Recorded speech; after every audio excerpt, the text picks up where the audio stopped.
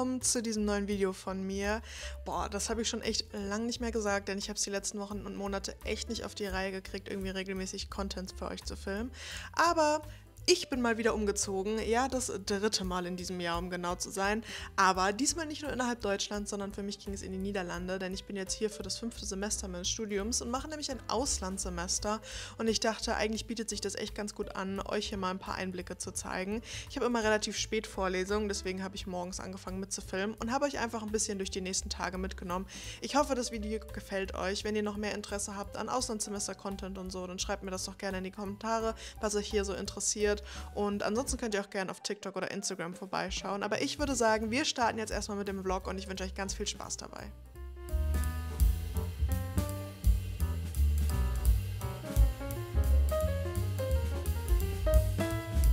Du kommst dann Ja. danach einfach, oder?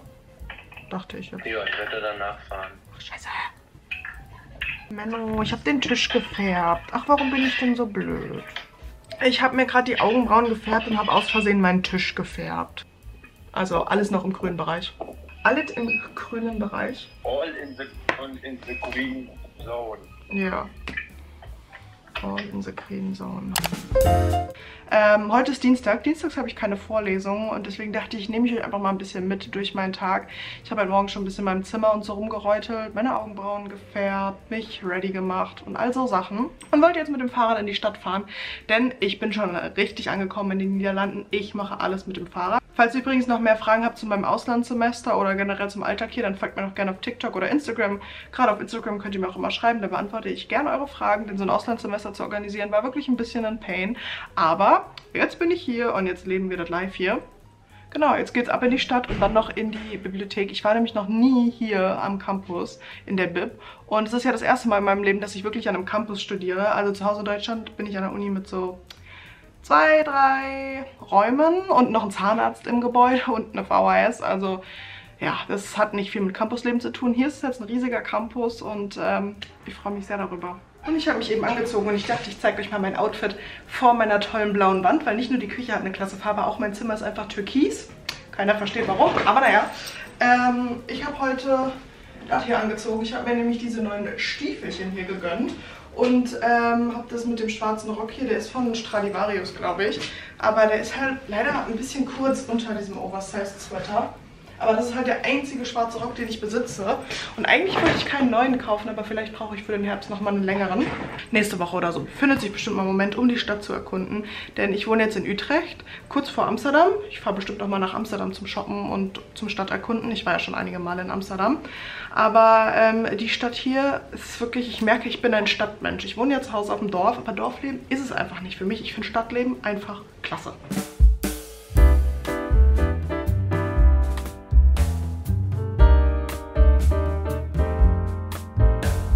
Ich hätte echt nicht gedacht, dass ich so viel Spaß am Fahrradfahren habe. Aber irgendwie dadurch, dass hier alles so gut organisiert ist, macht es wirklich Spaß. Hier seht ihr zum Beispiel, wie ich einfach in einem Parkhaus für Fahrräder bin. Hier stehen über tausende von Fahrrädern einfach mitten in der Stadt und man kann hier kostenlos 24 Stunden parken. Also ich muss schon sagen, das System hat mich wirklich überzeugt. Und dann war ich noch in meinem liebsten Supermarkt, denn Albert Heijn, Leute, hat einfach wirklich das beste Zeug. Ich würde mir wünschen, wir hätten sowas auch in Deutschland. Aber jetzt kann ich ja erstmal die nächsten Monate zum Glück hier einkaufen.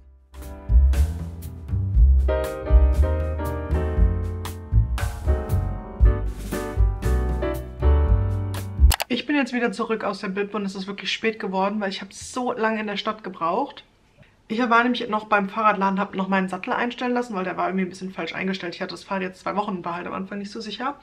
Und dann habe ich mein Projekt für heute fertig gemacht, was ich abgeben musste für halt die Vorlesung. Und jetzt gehe ich schnell noch unter die Dusche und mache mich fertig, weil gleich gehen wir mit der WG zusammen in die Stadt zu Five Guys, weil noch keiner von uns jemals bei Five Guys war. Und dann haben wir gedacht, probieren wir das doch mal gemeinsam aus. Und im Anschluss fahren die anderen wieder nach Hause und ich gehe auf eine Party von der Dance Association, wo ich letzte Woche beigetreten bin. Da sind alle neun Leute, die jetzt in diesem Jahr das erste Mal in dieser Association bin. Bin, sind. Und ähm, ja, vielleicht lerne ich da einfach noch ein paar Leute kennen. Weil im Training ist es ein bisschen schwierig, so zu connecten und sich auszutauschen und kennenzulernen und so vor allem, weil die meisten irgendwie immer schon so einen oder anderen kennen und ich kenne halt niemanden von den anderen. Aber schauen wir mal, was das heute Abend gibt. Ich werde das auf jeden Fall mit dem Fahrrad hinfahren, damit ich heute Nacht dann mit dem Fahrrad wieder nach Hause kommen kann. Weil der Campus ist ein bisschen außerhalb von der Stadt und ist total bescheuert, aber nachts fährt einfach kein Bus mehr. Also Freunde, es ist jetzt der nächste Morgen und ich habe einfach komplett verpennt. Ich wollte ja gestern Abend noch auf diese Party gehen von meiner Association, aber da war nichts los, da war niemand aus meiner Gruppe und ich war ja alleine, weil ich jetzt so von den Leuten, die ich hier bisher kennengelernt habe, die einzige bin, die da zum Tanzen gegangen ist. Und dann bin ich dann nach 10 Minuten wieder abgehauen, weil es für mich gar nicht gepasst hat und ich möchte mich selbst zwar so ein bisschen pushen und raus aus meiner Comfort Zone, aber ich will mich nicht irgendwo unwohl fühlen und mich dann dazu zwingen, da zu sein. Deswegen bin ich dann einfach nach Hause geradelt und das war schon Challenge genug, alleine dann 20 Minuten nach Hause zu radeln. Aber es gibt ja diese tolle neue Funktion, dass man so eine Wegbegleitung bei Apple machen kann. Habe ich dann erstmal gemacht, damit, wenn mir irgendwas passiert, äh, ich mich trotzdem sicher fühlen kann. Und dann dachte ich, wenn ich Granny-mäßig so früh zu Hause bin, gehe ich heute ins Fitnessstudio morgens und habe mir dann einen Slot gebucht, weil man muss sich so Slots buchen hier im Fitnessstudio. Ja, dann äh, hat mein Wecker geklingelt, ich bin aufgestanden ähm, und habe dann gedacht, ja komm, ich kuschel mich nochmal kurz ein. Habe dann einfach verpennt bis 10 Uhr. Ja, muss ich ehrlich sagen, fühlt sich scheiße an. Und irgendwie ist mein, mein Selbstwertgefühl davon jetzt mehr getrügt, als es sein sollte. Aber Leute, nur weil ihr mal lange schlaft, das macht nichts. Das sagt nichts über euch aus. Ich rede es mir auch gerade selber noch ein, aber es ist so. Es ändert ja jetzt im Endeffekt nichts. Vor allem, weil ich heute Abend noch tanzen habe. Das heißt, ich habe eh einmal Sport heute schon. Und ähm, habe dann jetzt ein bisschen Zeugs einfach erledigt äh, für die Vorlesung gleich. Habe mich um meine Steuern und einen Steuerberater gekümmert. Und einen Steuerberater zu finden, der erreichbar ist und der einen guten Dienst macht, ist wirklich schwieriger als alles andere. Ähm, ja, und habe versucht, noch mein Fitnessstudio in Deutschland ähm, zu pausieren, meine Mitgliedschaft. Weil Anfang des Jahres, als ich in Berlin war, ging das nicht. Das heißt, ich habe mein Fitnessstudio in der Heimat die ganze Zeit durchgezahlt, weil ich so ein mega Special Deal habe, dass das halt ultra günstig ist. Und wenn ich das jetzt kündigen würde und dann wiederkommen würde, dann müsste ich halt deutlich mehr bezahlen und da habe ich keine Lust drauf. Ähm, und da konnte ich das halt nicht pausieren damals, als ich nach Berlin gegangen bin. Und jetzt habe ich aber nochmal angerufen, der meinte, wenn ich eine Bestätigung habe, dass ich wirklich im Auslandssemester bin, dann kann man mein Fitnessstudio auch pausieren. Also hier euer Tipp, falls ihr irgendwie ins Auslandssemester oder so geht. Man kann die meisten Abonnements dann stornieren, wenn man irgendwie einen Nachweis dafür hat. Äh, jetzt habe ich mir auf jeden Fall die Haare geölt. Ich mache das hier mit ähm, Jojobaöl, wo ich noch Rosmarinöl reingemacht habe. Also es ist nicht nur das Jojobaöl, ich habe das nur in die eine Flasche gefüllt, weil das ja so gegen Haarausfall und so helfen soll. Und vor allem, ich habe da unfassbar trockene Kopfhaut. Da hilft das Ölen immer und dann habe ich das einfach mit so einer Bürste eben schon mal ein bisschen einmassiert. Ähm, das ist jetzt eine halbe, dreiviertel Stunde eingezogen. Ich habe gerade noch mal ein bisschen nachgeölt. Und jetzt geht es für mich erstmal unter die Dusche. Ich mache mich fresh. Ich bin jetzt eben gerade aus der Vorlesung wiedergekommen und habe dann erstmal eine Stunde mit meiner Mutti telefoniert. Das stand eigentlich nicht auf meinem Plan für heute, aber äh, für sowas ist immer Zeit. Oder ich nehme mir dafür immer die Zeit. Ähm, und jetzt muss ich aber auch schon los, denn wir haben heute einen Dance-Dinner, also ein Essen vor dem Training mit der Tanzgruppe. Und ähm, ich bin ein bisschen knapp dran, da ich noch 13 Minuten, bis es losgeht. Und ich fahre so 10 Minuten oder so mit dem Radl dahin. Und dann mache ich mich jetzt auf den Weg.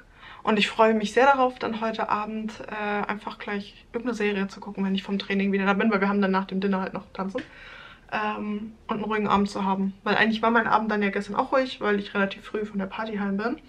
Weiß gar nicht, ob ich euch das erzählt habe. Nein, doch, ihr wisst Bescheid, ansonsten cutte ich das hier raus. Und ähm, ja, aber trotzdem, ich mag einfach meine ruhigen Abende. Und ich muss dann auch noch ein bisschen Hausaufgaben machen. Das habe ich nämlich dann jetzt eben nicht fertig geschafft. Aber egal, denn für euch ist ein neues Reel online gegangen. Schaut gerne mal auf meinem Instagram vorbei. Und äh, ich muss jetzt aber los.